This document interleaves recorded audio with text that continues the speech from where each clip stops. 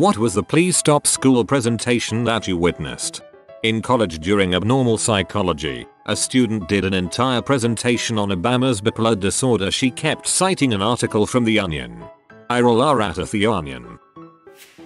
Was in a video filmmaking class in high school. One group of guys did a parody of those Gatorade commercials where the athlete's sweat is colored like Gatorade but it was a sweaty guy jerking off. Apparently there was a Gatorade cum shot but the teacher just turned that crap off immediately before it got that far. I never thought I would read the words Gatorade cum shot together with my own two eyes in my entire life, yet here I am. The anti-vaxxer chick that did a presentation on why vaccines cause autism, followed up by someone else's presentation on how vaccines do not cause autism. It was a weird day. I bet the guy who went after her felt pretty confident when he walked up. Presentation on World War II. Student had just discovered all the neat transitions you can use between slides and decided to use a different one each slide. They used the flashing heart transition between a photo slide of a mass grave and a photo slide of Hitler. For 8th grade talent show, two girls sang the Mr. Bledel song Mr. Bledel was a good looking, recently college graduated teacher that basically was about how cute they thought he was. Even then, it was incredibly uncomfortable and I remember looking at the teacher's face and he didn't seem very amused. God I would hate to be that teacher. Opioid awareness, literally a few months ago, started with them blasting the entirety of the disturbed cover of The Sound of Silence, while a slideshow of images containing sad stock photos with the watermark all over, random shots of really dark nighttime photos, and tons of poorly photoshopped drug images trudged on ever so slowly. Then, two women told us the harrowing stories of how their sons died of opioid overdoses. Incredibly emotional. Several people cried. Real downer. Basically, then, a D agent comes up and tries to act all bad cop. He calls us, an assembly of high school students, grades 9-12, freaking morons. The principal was not pleased. He is then followed by a nurse who was there to tell us the physical effects of opioid addiction and withdrawals and all that. And she did talk about that, but the whole time she was running around practically screaming jokes and doing crappy over the top gags trying to be the comic relief in an opioid assembly where two women shared the stories of how their children died. What the frick was she doing being that loud and crazy? Everyone came out of the whole thing with a general attitude of yeah frick opioids, but also frick that whole presentation. Once in college I was in my Spanish class and our desks were in a U shape. I was on the very end of the U. So some guy is giving a presentation. He is standing behind a podium. Gets a boner. I'm on the side and no one is opposite so I can see it. Dude just kept going on and on and on. I think he was trying to outlast the boner. He ended up getting it down before he had to sit down. Was like a 10 minutes presentation that only needed to be like 3 minutes yo. Ah, the fear boner.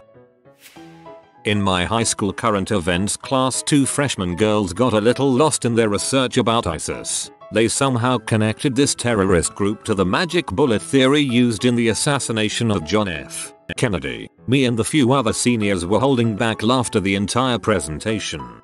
Had to look it up apparently there are some fringe groups actually promoting this as a thing what the heck world what the heck.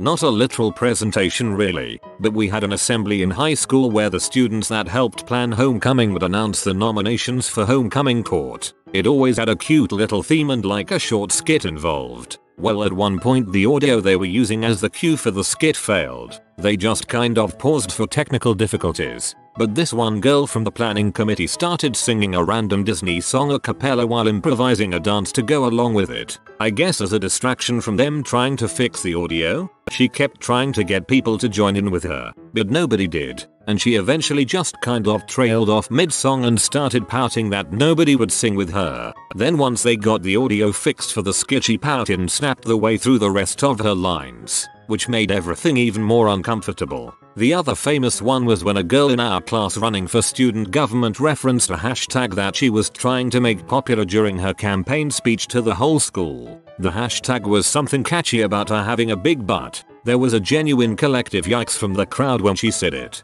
I don't think she got elected. In high school a student died in a car accident where she was driving. There was no record that stated she was distracted by her phone or anything, but the school decided to have an assembly shortly after talking about distracted driving and using her as an example, telling the whole school she'd be alive if she was doing what she was supposed to. That's fricked.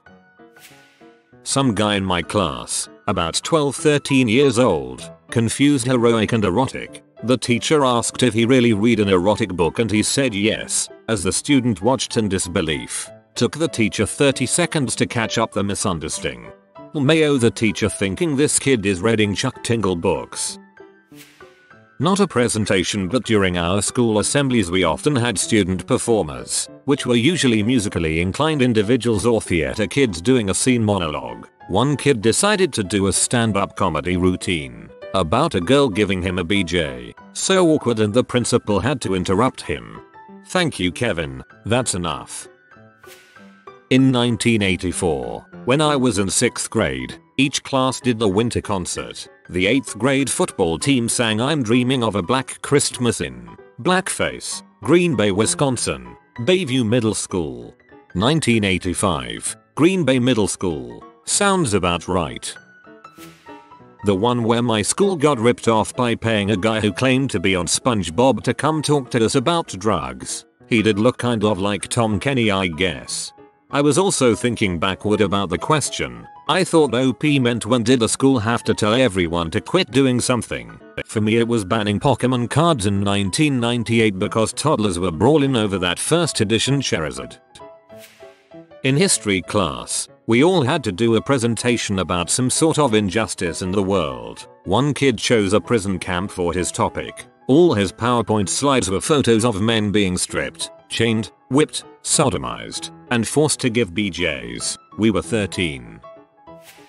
I studied went to school for computer security. In an introduction to computer security course, we had to do a project on social engineering. A student decided that for his project he was going to find a way to gain access to a chosen website. He found a small local business website, identified that the domain was registered to an email address from a local ISP, called the ISP to reset the password. They asked him for his last four of his SSN. So he hung up. He found the phone number of the business, so called them and pretended to be from the ISP offering 3 months free if the person did a 5 question survey. They accepted and answered some BS questions. Then he asked for the last 4 of the guy's SSN, which they gave no problem. He then called the ISP with the last 4, got them to reset the password of the email account. He then logged into the email and used it to get the domain registrar to send a password reset to the email, which he used to reset the password of the domain account, and deleted the email. He recorded all phone calls and screenshotted the whole process. As he presented all these we kept expecting him to say but that would be illegal, so I didn't do X. But he went all the way. The professor finally stopped him after he said he logged into the domain registrar and told him to destroy everything and never speak of it again. I think the professor was a bit nicer than he could have been. Potentially to the point of accomplice. Telling him to destroy evidence. Whoa, nothing like committing digital crimes to pass a class. This was a Spanish class in college, and I think the assignment was something like talk about your best friend or some such. Just kind of a softball assignment so you could practice using the vocabulary. And one classmate's friend was evidently a friend with benefits. Not at school, but when I was in high school my church youth group went to this church camp. For those uninitiated Thursday nights are normally the really emotional nights. Well this camp was different. Thursday night the guy that started the camp comes on stage and begins giving a bunch of middle school and high school boys and girls the sex talk. All I remember from that night was the quote, just because there's a hole there doesn't mean you have to stick something in it. But then the boat will sink. An anti-bullying campaign. They spent most of the presentation explaining different types and ways to bully harass people. Bullying increased in school and everything got 10 times worse now that the students were more educated on the subject. Compared to some other stories in here this is minor, but it was a group project for one of my literature classes. There were 5 people in this group. According to the rubric for this assignment, everyone was supposed to have equal speaking parts. One of the members in this group would just not stop talking. Half of their presentation was just her talking, and she went on about each of her slides for like 5 minutes. The rest of her group members had like 1 or 2 slides each, and she had if I recall correctly 5 or 6. She would also interject into the other group members' parts to add her opinions. The look on my professor's face screamed just shut up already every time she talked. Oh man, this could have been me in high school or college. I was such a know-it-all and talked why too much. I cringe so hard when I think about it. During nursing school a guy decided to use My Little Pony figures as props to a seminar room of about 100 people. He told the class that he would refer to himself as his pony name for the duration. Don't remember what it was. Also, not that this is relevant but he wore a black leather trench coat and it was pretty hot in the room yet he never took it off. Cringe. My sophomore year we had to make a presentation about any person that made an impact on the world that was inspirational. Someone chose Hitler. A kid did something similar at my middle school. We had to make posters about someone who inspired us and he picked Hitler. His justification was all the stuff he invented. Later got removed from the school and we had an assembly while he was gone where they explained he had autism. Environmental science. For our final project in the class we were allowed to talk about. Dude decides to do his project on global cooling. Buddy was up there for 7 minutes explaining to the class how the earth has been getting colder and colder, and how it's eventually going to cause problems to other species. Teacher was really passionate about this class and you could see her squirming in her seat the whole way through the presentation. Whole thing was a big WTF. His sources were online forums. Hey, props to them for getting the climate change part right. This was my presentation, and it was about the science behind how Mountain Dew can dissolve a mouse. This was in 4th grade. Needless to say I got some parent complaints. Every year someone did the Coke and Bones experiment at my school. Every year it won an award. In Speech 101 in college we had to pick a children's book and voice act each character. That was it. That was the entire assignment. Well, one student decided to take it to the next level. He chose a Berenstain Bear book and decided to not only do voice acting for every single one of the characters, but also act it out. It was physically uncomfortable to watch this guy scramble around the room and pretend to be bears and other animals. It was not well done. It was awful. That sounds hilarious. In 4th year university we had a year long seminar course of 15ish students. Our big end of year project was to give a 3 hour lecture on one of the historical figures we'd studied. One guy got up there and was so nervous he blasted through his content in less than an hour, without hardly taking a breath. Nobody could understand him. The prof didn't step in to tell him to slow down, and he was sweating so profusely his shirt was soaked through. I felt really bad for him, but oh god. A teacher asked up to compare the cells in our body to anything we can think of. Obviously some students compared the parts of the human cell to schools, jails, libraries, normal things right? Well this one student that sits next to me had a different idea. These were group projects keep in mind. This girl managed to strong arm her group to compare the human cell to the infamous webcomic Homestuck. She did this successfully. Not only did I feel dirty but her group felt worse for having their names on it. Oh god this sounds like something I would do in 6th grade. I had a friend who deliberately wrote moral of the story instead of moral on a presentation and I have never forgiven him since. My junior year in French class, this one girl did not know French at all, despite taking the class for 4 years. She was pretty open about it too laughing and saying how she didn't need this class in the middle of the presentation. The teacher asked her to sit. This one girl did not know French at all, despite taking the class for 4 years. This is surprisingly common in foreign language classes. This was in freaking college. Our bio finals were to present on any topic that was related to biology. A group was presenting on types of protection for sex. Not once did they refer to any body parts or fluids by their scientific names. So, yes, they literally had dong, cm, and pee on slides and read off them. Everyone kept glancing over at our professor, who had this look like he was just constantly cleaning his glasses because he couldn't believe what he was witnessing. They got Kentucky fricked on grading. I googled Kentucky fricked but it just delivered P results. It's me, I did this. I cringe about it to this day, nearly 20 years later. I was 16 and in high school. My high school was going to do a spring talent show. I wanted to be in the talent show and show off my talents. The problem was, my actual talents are not ones that I could show off at a talent show. So I decided to try singing. I have never sung in my life. I have never had voice lessons. I was in my prime weeb stage and chose an anime song to sing. I didn't know any actual Japanese. I had just memorized the lyrics from hearing the song so many times. Luckily I didn't make it past auditions, but several people saw an overweight girl in a Sailor Moon shirt try to sing Butterfly despite having never done any singing or voice training ever in her life. Nearly 20 years later, and remembering it keeps me awake at night. A girl in my school danced to Hatsune Miku for a presentation. I cringed, but I admired her balls to do something like that. I never did this, but my dream was to include a slide of a bear running toward us and then me yelling oh no. A bear and then quickly going to the next slide, saying whoa. That was close and then going on like nothing happened. I have a feeling I would have ended up in this thread. I feel like this has a 65 stroke 35 chance of being either cringy or pretty funny.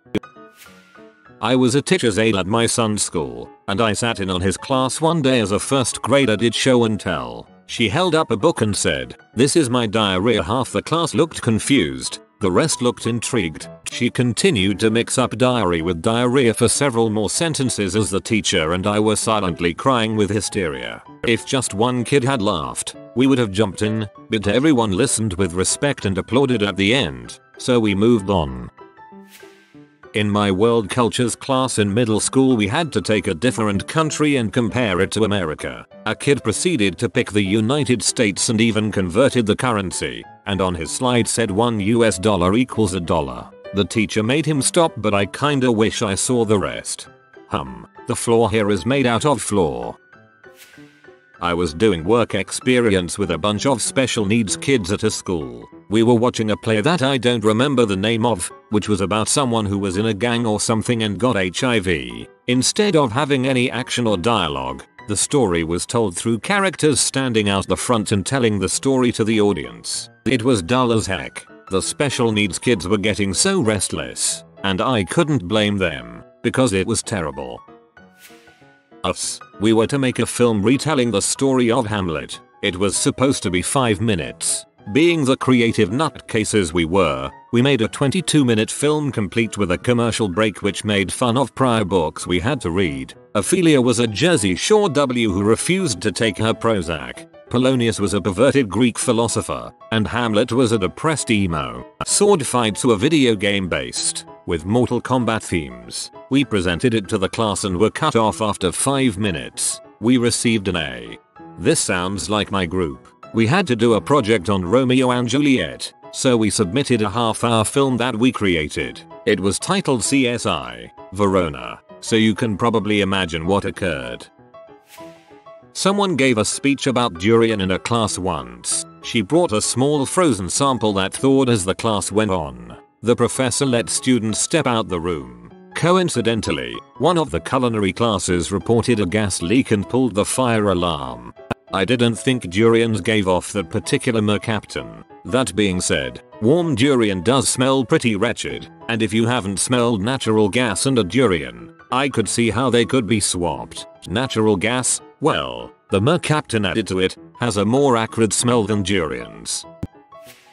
We had this senior talent show that a few male students could sign up for, no idea why it was only guys, or how the few people even got nominated for it, and they all had to do their own act. Some sang, some danced, some put on a funny skit, possibilities were endless. Well, each year someone who never got told they weren't good at singing would end up on stage. One time this guy did the evolution of boy band songs and it was just below average singing for, no joke, 15 minutes straight. Bonus skit that I'm glad didn't stop because it was hilarious. One guy did a wrestling skit with different movie characters and my friend was the announcer. When Indiana Jones got into the ring my friend announced it's the BDSM bad boy himself and somehow that slipped by all the school staff members and made it into the DVDs the school sold. Another friend of mine sang Disney princess songs while wearing a Sonic hat and got second place and at least 3 girls gave him their number.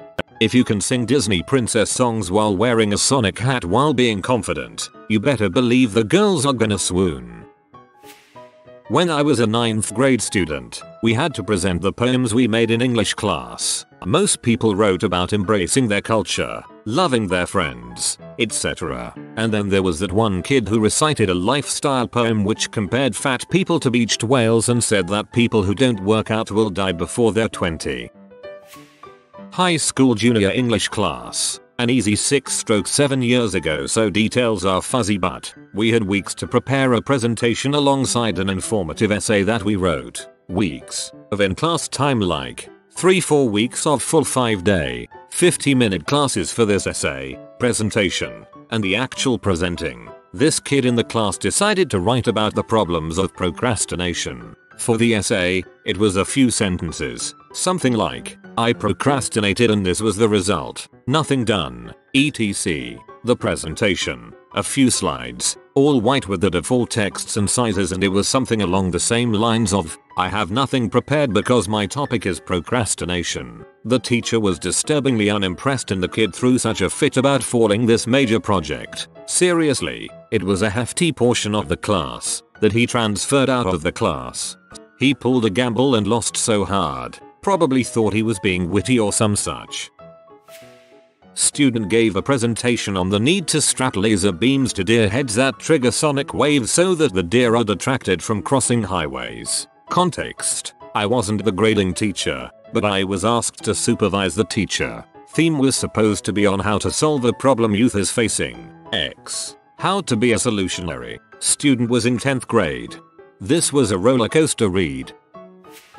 I've told this on Reddit a few times but it's truly unforgettable. Smart kid in the class was giving a deeply sourced PowerPoint presentation on religion in Europe. He opens up his files, proceeds to click on his project named Enga. He says clearly I wasn't really paying any attention when I named my file. He gives a presentation. He stutters and sweats bullets while we watch in utter disbelief. The word is sitting there on the top of the file heading the whole time. This was during a study abroad semester while attending a cultural communication class. He had to rots in his own crap after that.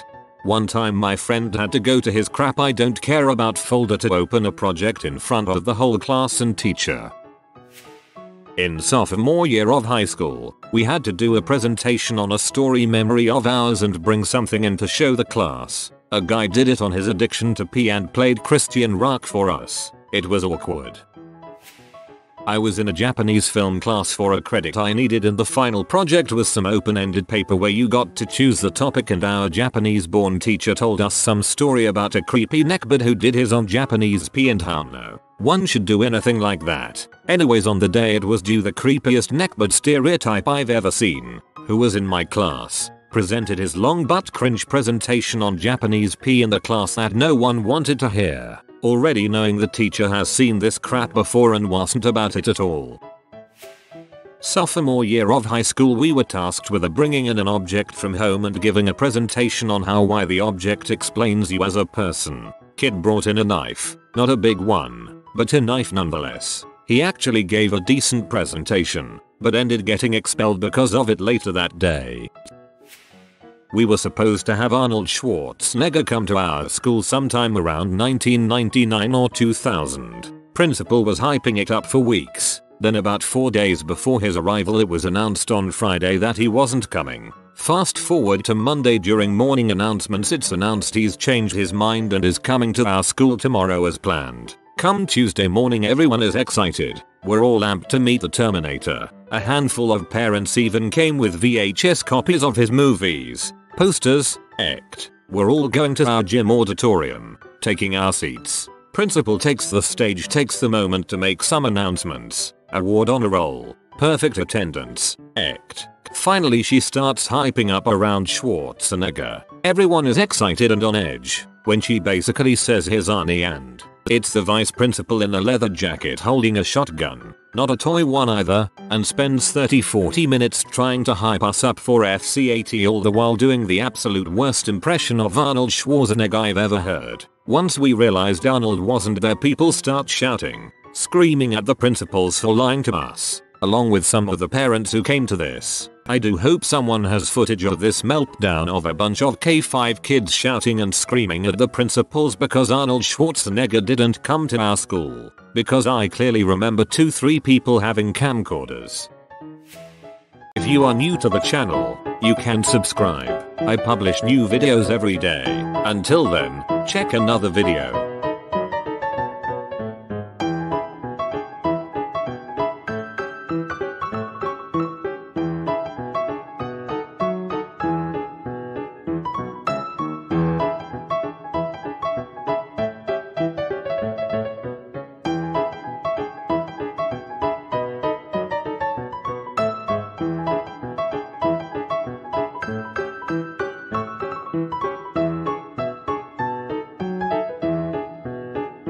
Bye for now.